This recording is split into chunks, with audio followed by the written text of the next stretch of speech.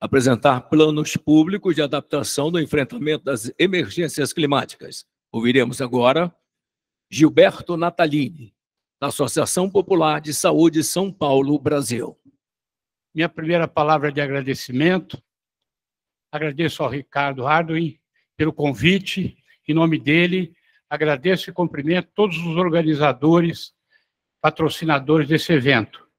Cumprimento aqui o ministro Sarney Filho, cumprimento o Mário Mantovani, cumprimento o deputado Jorge Santa Catarina, o Geraldo Magela, também o Fernando Guida, enfim, todas as lideranças aqui presentes. E eu tenho aqui um tempo para falar.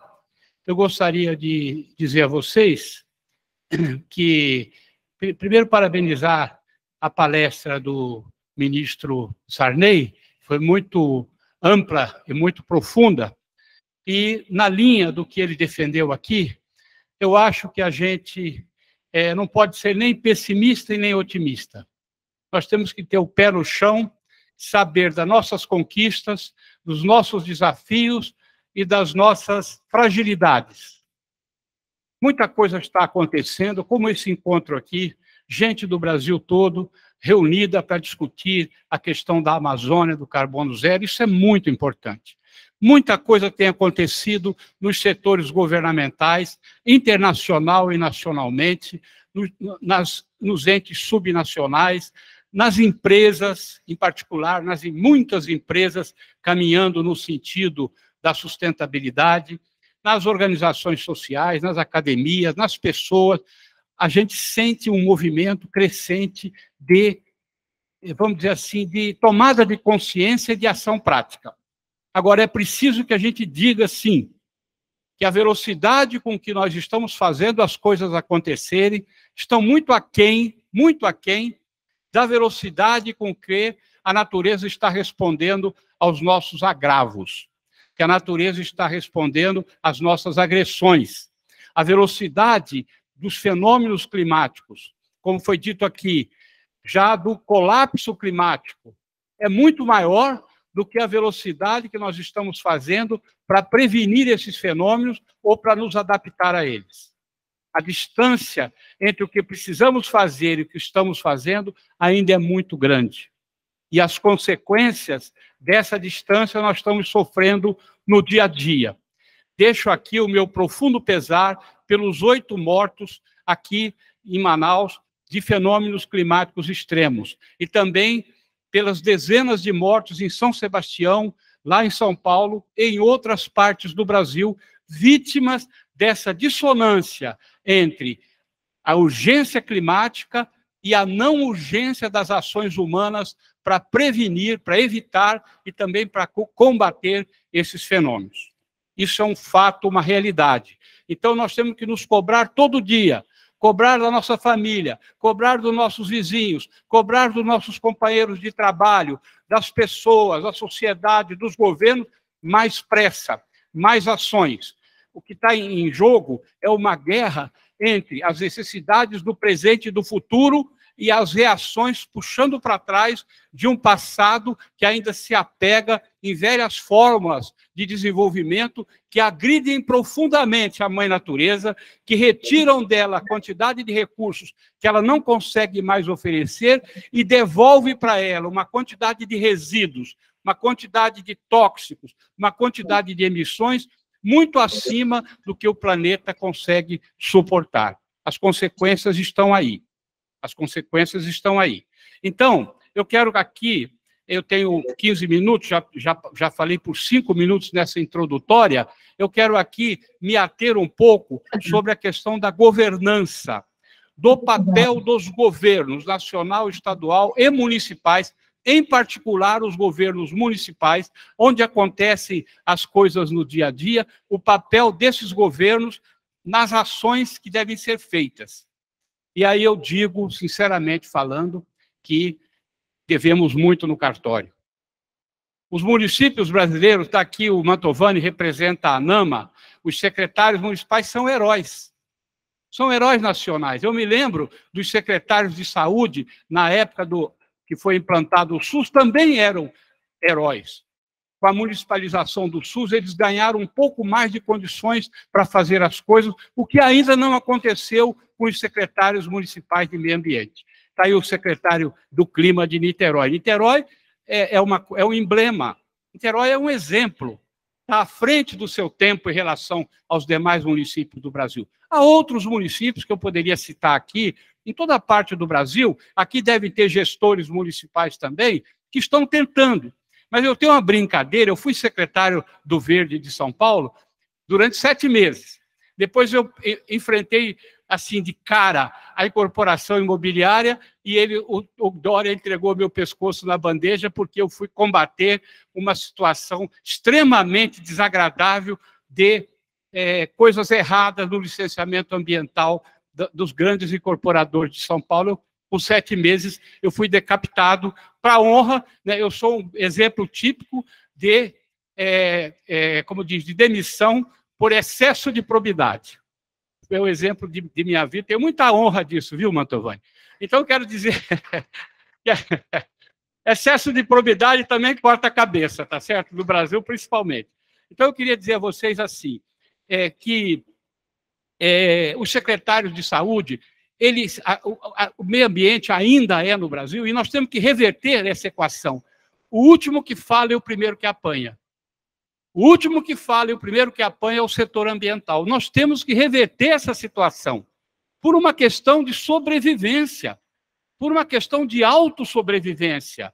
Nós temos que ganhar as pessoas, que produzir leis, fazer cumprir as leis, forçar a barra para que o cerrado não seja destruído, como foi dito aqui, porque o cerrado significa a preservação da própria vida, não só no Brasil, como no mundo inteiro. E a floresta amazônica a floresta amazônica que tem sofrido um ataque brutal, brutal de, de fontes criminosas, de organizações criminosas que estão devastando, que estão destruindo, que estão derrubando para buscar riquezas, muitas vezes não buscar nada, apenas vender a madeira.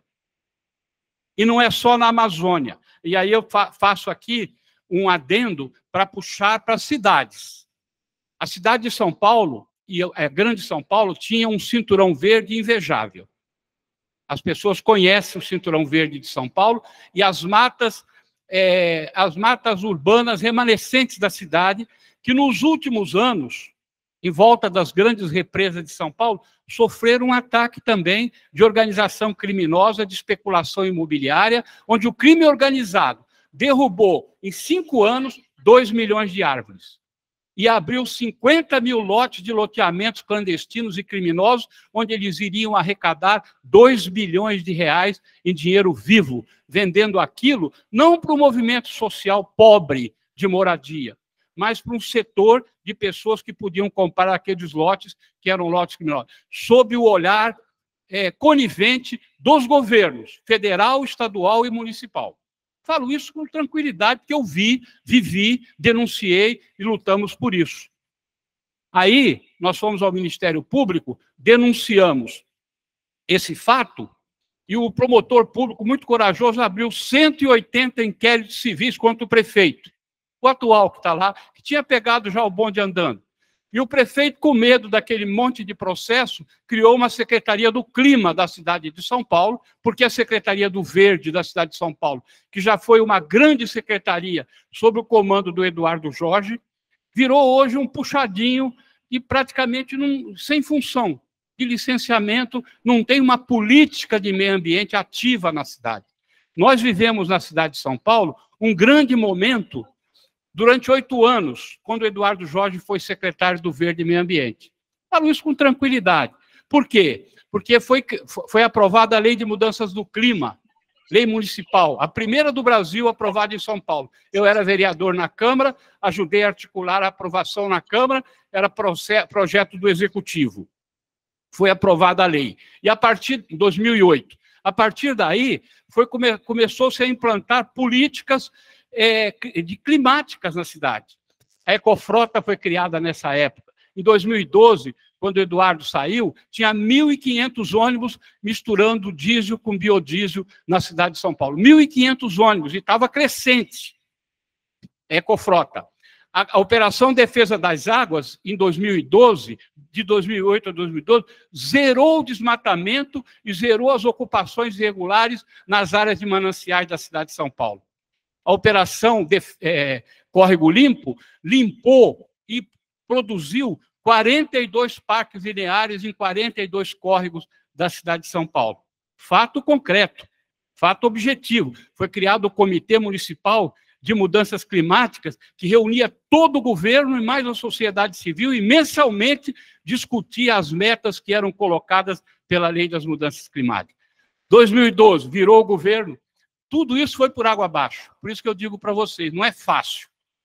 Acabou a Ecofrota, acabou a Operação Defesa das Águas, acabou o Córrego Limpo, o Código de Obras foi modificado, flexibilizando, por exemplo, a implantação de painéis solares nos empreendimentos imobiliários da cidade de São Paulo, e daí para frente veio vindo uma situação que São Paulo perdeu o protagonismo no Brasil, a maior cidade do Brasil, perdeu o protagonismo ambiental e perdeu o protagonismo climático. Para quem não sabe, aquela cidade, em 2007, 2008, 2009, foi sede, secretaria-geral do C40. E esteve em todas as COPs com um protagonismo enorme de uma cidade que estava fazendo o seu dever de casa. Infelizmente, isso foi é, deixado de lado. E assim, se nós formos ver município por município, aqui não vai uma palavra de ofensa, não vai uma palavra de, de desagrado, de maneira nenhuma. É a constatação de uma realidade de que alguém que, como vocês, luta para virar essa realidade uma realidade diferente.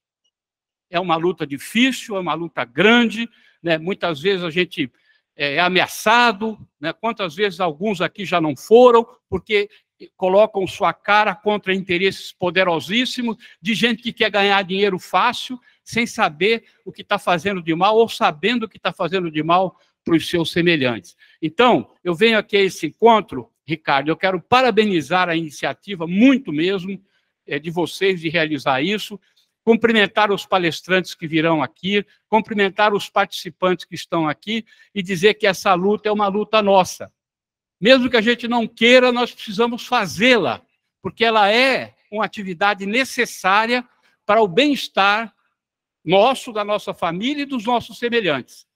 E também para proteger a vida, a vida humana e a vida de outros seres vivos, sejam animais, sejam vegetais, que coabitam conosco esse planetinha chamado Terra.